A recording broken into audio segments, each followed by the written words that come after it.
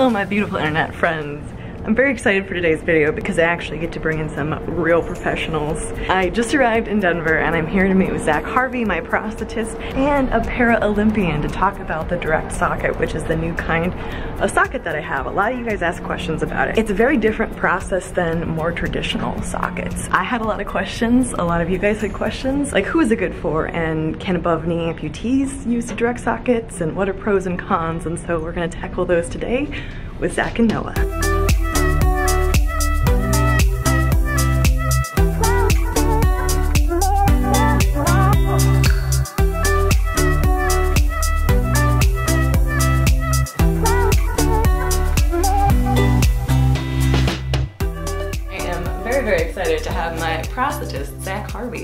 To chat with me today about the direct socket. I know you guys were really, really interested in that and curious about what that balloon thing was and why the socket was being made directly on me and who it could work for and how it actually is working. And so I thought who better to answer those questions than the man himself. So Zach, thanks for chatting with us yeah, today. thanks for having me. What what about it do you like? Like what excites you about the direct socket? I think to understand what it means and what it is, you have to first understand the mold making process that okay. we traditionally use. Um, and as you know, first legs we made, we had, it was pretty labor intensive and it took a lot of steps and a lot yeah. of appointments.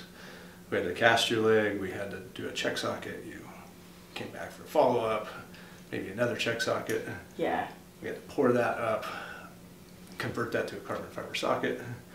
This method is a lot different in the sense that the laminated socket is done on the person. It was same day for me. Like I came in and I got it out, and I mean, you guys kind of made a work of art in the back, and I had a socket, and we were good to go. Yeah, it's same? a longer appointment, yeah. but the yeah. idea is that we knock out all the work in one visit. Yeah. And then we have more time to do things like experiment with different saving everyone time but it's also i think more importantly the accuracy of fit with this is really good it's yeah. taken a, flu a fluid dynamics approach to the fitting, and I'll explain that in a minute. Yeah, please. Compared to pressure distribution uh, approach. Traditionally, we look at loading the soft tissue areas maybe with a little bit more pressure than we do the bony prominences. Where this is compressing everything equally from all sides. One of the, the biggest questions I had was like who, who is it good for? You know, would it work for me? Or I mean, who is it good for? Yeah, so right now it's available uh, through us for below knee and above knee amputees yeah. only. Okay. Um, the above knee system works a little bit different. It's not pressurized. Um, it has a silicone brim that's flexible that flips up over the socket when you put the leg on. Okay. And that contains all the soft tissue. A lot of above knee amputees complain they can put their hand down in their socket. Yeah, got it. With this, it's nice and tight and, and supportive around the upper section, but it's flexible, so it's more comfortable. And that, okay. that band of silicone provides a second means of suspension.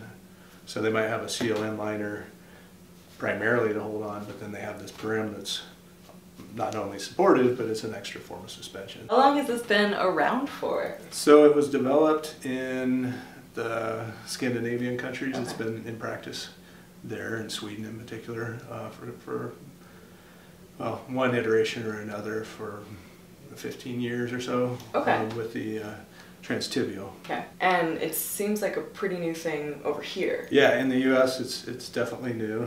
Um, a lot of processes have prosthetists have been familiar with the older form of the transtibial direct socket, where we had a, a bladder that we go over and pressurize, but we're still doing the traditional like plaster cast. Oh, right. Okay. So we arrived at that fit, but we used more traditional um, but right now, it's uh, ready for prime time. I feel like. Yeah. The materials, the, the look of it is really good. It's um, there's not problems with leaks like there were in the earlier versions. Yeah.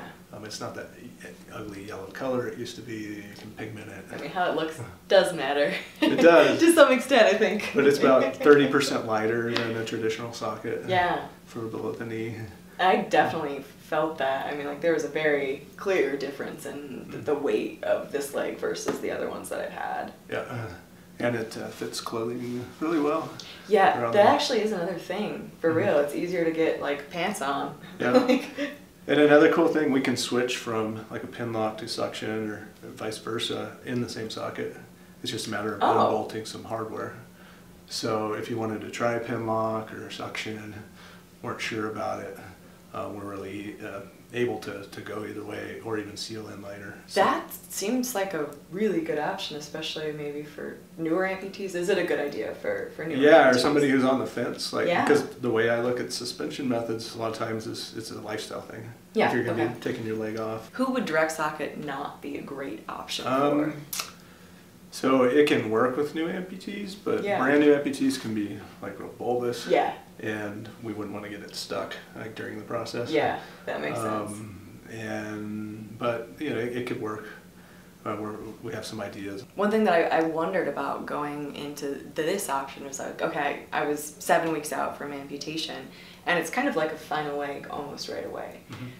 Is that does that commonly become an issue, or because it's so fit to you, is that Yeah, really not volume. So volume fluctuation is a thing that we can't really solve with you know static technology. Yeah, yeah, Um, right. if, if I anticipate that, okay, you're just going into your first leg Yeah. and you're going to be changing a lot, we would consider this a diagnostic socket. Got it. Okay. And do it again two, three weeks later when the volume's smaller, use socks and pads Yeah. up to that point, Okay. and then call that the definitive. Okay, so there's still wiggle room and options Yeah, within that. But it's still a really, it's safer than going out on a check socket, Yeah. which isn't intended for long-term use. yeah, that was always kind of freaked me out actually walking on. Weight rated uh, 350 plus, Yeah. so they're really strong. So the the weight restriction on direct sockets is 350 plus. Is that right? Yeah, I can't remember the exact number. Yeah, okay, cool. It's material options. with it. Yeah. Okay.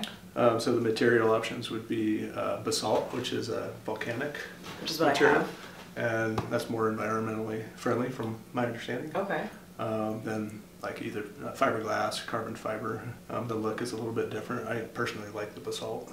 It's kind of got a thicker, like weaved. It's like yeah, the, it looks it's like, snake skin. Yeah, exactly. It does. It looks like snake skin. Yeah. You know, from my standpoint, working on the basalt is less itchy because when we grind Oh. the fiberglass and the carbon, it, little speckles get on your skin I and never it's thought really about. itchy. Never thought about the poor prosthetist who have to deal with that in the back. so not only is it more environmentally friendly, It's more prosthetist more- friendly. yeah, What about colors? What about you can't do fabric with these yet, can you? you can. I Okay. haven't done it yet, but Okay. apparently we could get like a Fred's legs, uh, spandex kind of thing Oh, to sure. go over. Okay. We have a lot of different patterns um, as our last layer, and it just gets laminated in about any color that you want. Okay. We have little dyes that we put in. And I also want to try embossing powder at some point uh, Oh, to make it sparkly.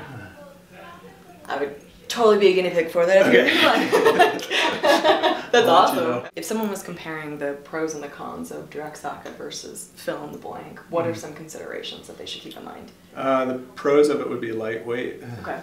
It's taken some of the human error out of the process because it's a step-by-step procedure that can be duplicated. And it's actually on you. Yeah. Yeah, That doesn't take away the skill of the process sure. because there's a lot of subtle decisions like we can put pads on bony prominences Yes. uh, in order to create relief. So that's done under the casting liner, but then the pad's removed to create a relief. which is what you did for me, which worked really well because it, it gave it space. Exactly. Yeah. Yeah. So without that, you'd probably be in a lot more pain. Yeah. Um, so yeah, the, the skill of the process still is there to determine that, but as far as the the, the fit of the socket, the volume fit, um, that's the thing that's taken some of the air out. We Got it. to date really have not had to do any modification to the inside of the sockets. Really? Um, what we're adjusting is trim lines, Okay. That's and now that we're simple. More familiar with how we're we're having to do that, we've added some pads that we're putting on the patella, in the back, behind the knee. Back to your question on Yeah. the uh, like who it's indicated for. Yes, I'd say some congenital, uh, like Syme's amputee who has a real bulbous distal end and is narrower. Um, they wouldn't be a candidate because Okay. again, it would get stuck and uh, it wouldn't be able to sounds like a through. bad day. Yeah.